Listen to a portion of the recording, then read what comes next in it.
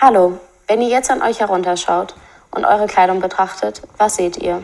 Seht ihr, woher die Kleidung kommt? Was für einen Weg sie hinter sich hat? Wer sie gemacht hat? Vermutlich nicht. Vermutlich tragt ihr in diesem Moment Kleidung, die man als Fast Fashion bezeichnet. Vielleicht ist eure Kleidung von H&M oder von Hollister oder Subdued oder ähm, Outfitters oder Zara oder Abercrombie oder oder oder.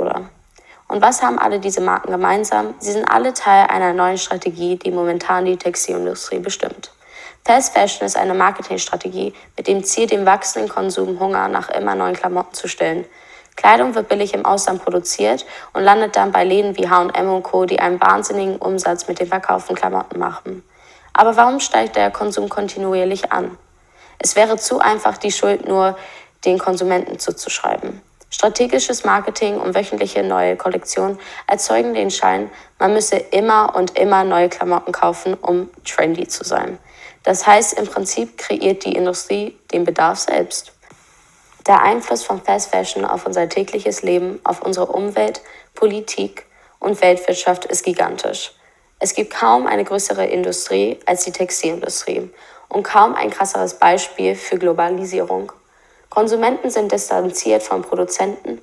Der Weg, den Kleidung heutzutage hinter sich hat, bevor sie bei uns in den Geschäften landet, ist kaum noch nachvollziehbar. Alles, um die Produktion von Kleidung noch billiger zu machen. Denn genau das ist Fast Fashion. Unfassbar profitabel für große Unternehmen und befriedigt die Vorstellungen des Konsumenten. Aber welche Kosten hat Fast Fashion wirklich? Nicht nur Umweltverschmutzung, sondern auch Ausbeutung von Arbeitskraft in Ländern wie Bangladesch, China, Pakistan, Menschenunwürdige Lebens- und Arbeitsbedingungen sind trauriger Alltag. Vor fünf Jahren stürzte in Bangladesch eine Textilfabrik ein. Der Unfall kostete 1100 Menschen das Leben. Nach kurzem Aufruhr in den Medien ging der Billigwettlauf weiter. Obwohl Kinderarbeit illegal ist, arbeiten in Bangladesch zwei aus drei Mädchen der Kinderarbeiter unter gefährlichsten Umständen in der Textilfabrik. Nach einer Studie des World Resources Institute erzeugte die Polyesterproduktion in 2015 die gleiche Menge an Schadstoffemissionen wie 185 Kraftwerke in einem Jahr. Das legale Maximum für die wöchentliche Arbeitsstunden eines Erwachsenen beträgt in der EU 48 Stunden. Im Kontrast dazu stehen durchschnittlich 64 wöchentliche Arbeitsstunden eines Kinderarbeiters in der Fabrik in Bangladesch. In den letzten Jahren hat sich in der Modebranche viel verändert. Immer mehr Marken lehnen die Prinzipien von Fast Fashion ab, da ein nachhaltigerer Ansatz bei der Herstellung von Kleidung im Vordergrund steht.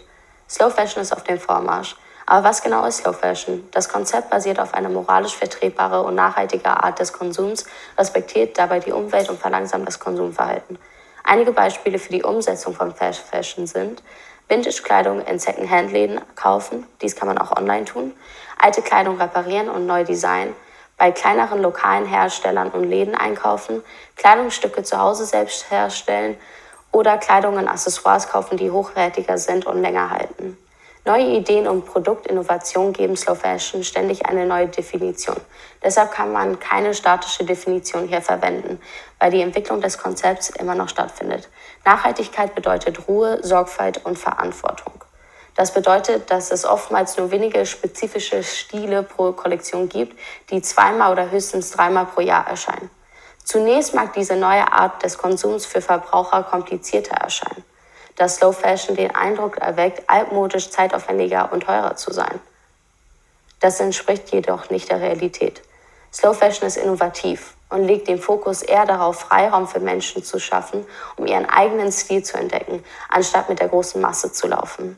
Über längere Zeit beweist sich auch, dass die Qualität der Kleidung bei Slow Fashion Marken viel, viel, viel besser ist. Die Qualität des Kleidungsstücks kann auch die Lebensdauer bestimmen, das heißt, wie lange man das Stück tragen kann. Die Entscheidung, Kleidung aus natürlichen Materialien zu kaufen und die richtige Pflege kann einen viel Geld sparen und ist umweltfreundlich. Kleidung kaufen, wiederverwenden, tauschen und teilen. Darum geht es bei Slow Fashion. Es gibt viele Gründe, warum man Teil dieser neuen Welle sein sollte.